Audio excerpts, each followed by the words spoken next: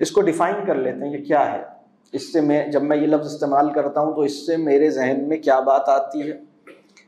और अगर आ, मैं ये भी चाहूँगा कि आप भी अपने जहन को थोड़ा सा दौड़ाएँ और सोचें कि क्या आपके जहन में क्या परसेप्शन आ रहा है। अगर आपसे ये कहा जाए कि इसको डिफ़ाइन करें। क्या मतलब है आपका कि आप किसी पे ट्रस्ट करते हैं? व्हाट डू यू मीन और क्या मतलब है आपका जब आप ये कहते हैं कि मुझ पे ट्रस्ट करो? व्हाट डू यू एक्सपेक्ट क्या इससे क्या चाहते हैं आप? थोड़ा सा सोचें इस पर। ट्रस्ट क्या है? तो ट्रस्ट जो है वो कोई किसी के जहन में कोई ख्याल आ रहा है? क्या है ट्रस्ट जी फरमाइए।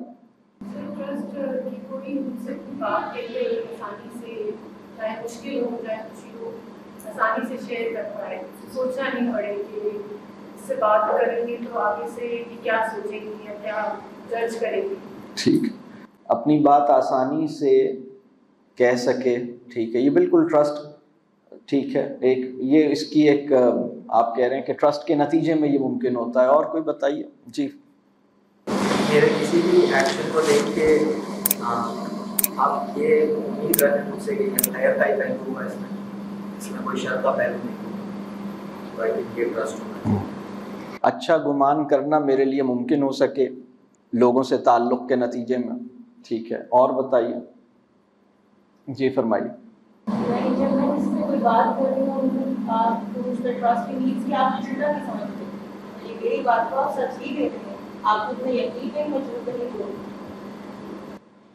सुबह अल्लाह किसी की नियत पर शक करने से कामिल परहेज ये ट्रस्ट का स्टार्टिंग पॉइंट किसी की नीयत पर शक करने से मुस्तकिल और मुकम्मल परहेज। उसकी वजह क्या है? उसकी वजह यह है कि नीयत के बारे में हम जान नहीं सकते। अगर किसी इंसान से कोई गलत काम हुआ है तो भी हम ये नहीं कह सकते कि ये इरादतन शौरी तौर पर अपनी इंटेंशन की इन्वॉल्वमेंट के साथ इसने ऐसा काम किया है। आप ज़्यादा से ज़्यादा यही कह सकते हैं कि भाई, तुमने ये नहीं किया, तुमसे ये नहीं हुआ, तुमने ये गलत किया। तुमने ये ज़िम्मेदारी नहीं निभाई, नहीं निभा सके। लेकिन तुम नहीं निभाना चाहते थे, तुम्हारी नीयत ही नहीं थी इस काम को करने की। तुम तो चाहते ही नहीं थे कि इसको करो। ऐसा सोचने से मुस्तकिल और मुकम्मल गुरेज़, ये ट्रस्ट की फाउंडेशन है। ट्रस्ट जो है, इंसान के हवाले से, जब तक हमारा बेसिक तस्वुर इंसान जो है ना, ट्रस्ट की कैपेसिटी बेसिक तस्वुर इंसान की करेक्शन से पैदा होती है।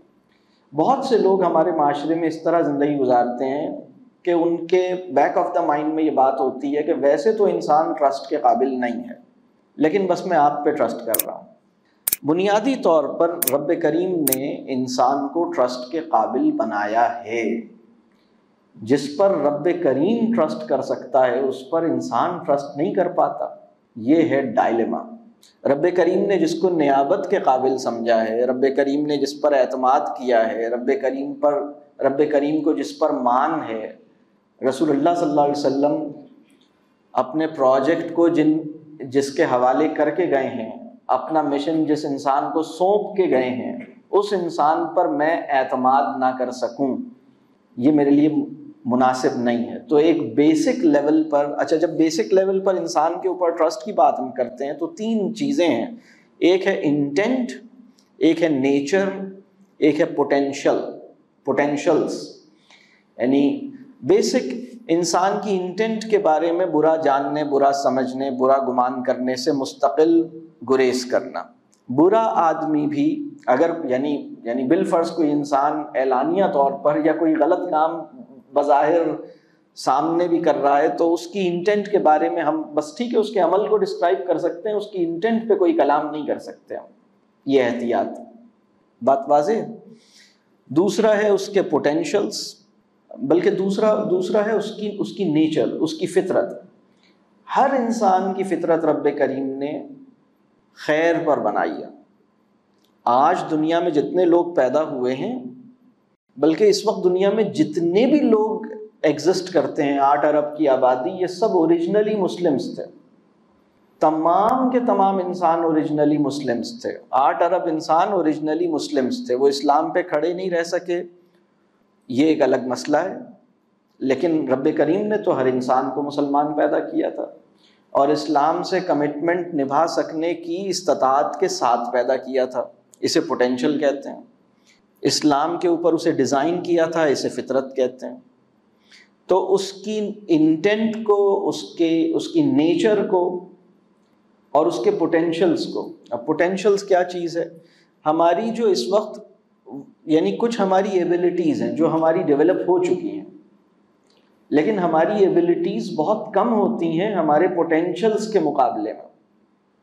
हमारे पोटेंशियल्स काउंटेबल नहीं होते। हमें खुद अंदाज़ा नहीं है कि हमारे अंदर क्या कुछ कर सकने का इम्कान छुपा हुआ है। इंसान के अंदर इम्कान खैर खूबी बेानतहा हैं। इसका कोई शुमार नहीं है। इसे पोटेंशियल कहते हैं। इंसान की फितरत अल्लाह ने खैर पर बनाई है। इसे हम नेचर कह रहे हैं। उसकी नीयतें जो हैं अच्छा ये पोटेंशियल और नेचर अल्लाह के बागी की भी बहरहाल उसके अंदर पोटेंशल्स भी हैं, उसके, उसकी नेचर भी अल्लाह ने अच्छी बनाई है। जब रब करीम उसे हिदायत देगा, वो वापस अपने पोटेंशियल को भी पोटेंशल्स को तो खैर अल्लाह का बागी भी एक्सप्लोर भी कर रहा होता है यूटिलाइज भी कर रहा होता है, अपने पोटेंशल्स को, अपनी एबिलिटीज़ में ट्रांसफॉर्म भी कर रहा होता है। हम जो कुछ भी करने के काबिल हुए हैं, उसका इम्कान रब करीम ने हमारे अंदर रखा था। ये हमारे पोटेंशल्स हैं।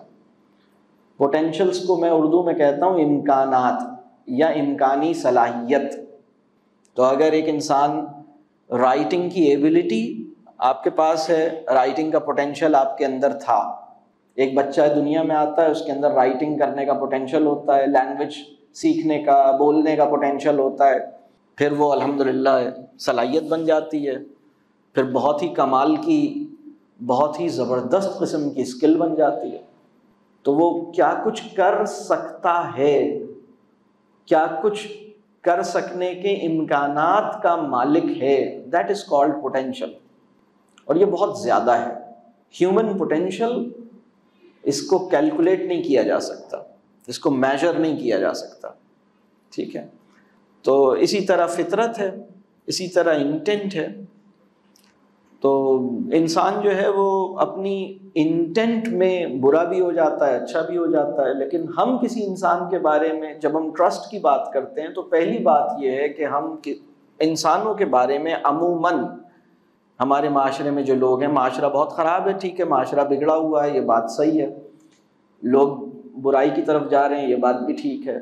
लेकिन वो रब करीम ने उनके अंदर जो खैर का मादा रखा है, जो सब्सटेंस ऑफ़ खैर रखा है, उससे महरूम नहीं हुए इसी तरह रब करीम ने उनके अंदर नेकी पे चलने और अच्छे काम करने का पोटेंशियल रखा है, उससे वो महरूम नहीं हुए उनके अंदर ठीक है, एक इंसान में इस वक्त सलाहियत नहीं है, लेकिन इसका मतलब ये नहीं है कि वो डेवलप भी नहीं हो सकती। ठीक है? तो ये हमारे अंदर ट्रस्ट करने की कैपेसिटी ट्रस्ट यानी जो तस्वुर इंसान है या परसेप्शन ऑफ़ इंसान है, उसको करेक्ट करने से पैदा होती है। और ये बिल्कुल बेसिक लेवल की चीज़ है। और इसका जो पहला मतलब है, वो ये है कि हम इंसानों की नीयत के बारे में बुरा गुमान करने से मुस्तकिल गुरेज करें और इस ज़िम्मेदारी को एक मजहबी ज़िम्मेदारी समझ के निभाते रहें, आखिरी सांस तक। ये एक हमारी ज़िम्मेदारी है।